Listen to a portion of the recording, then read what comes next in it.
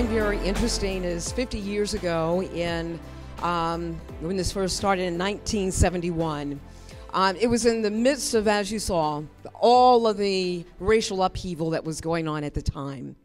And in direct response to the affirmative action initiatives that evolved out of those movements, paved the way for uh, TJ and for JT and for Margaret to move forward with their initiative.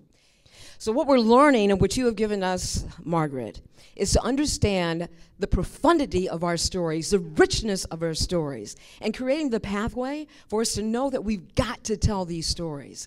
And that the fight for inclusion, if we want to move towards a more perfect nation, has to remain vigilant with each and every one of us in this room. So, the message to all of the filmmakers here keep doing what you're doing. I discovered new ways of telling stories and understanding that this is great. This is wonderful. Margaret, there is no story without the black story.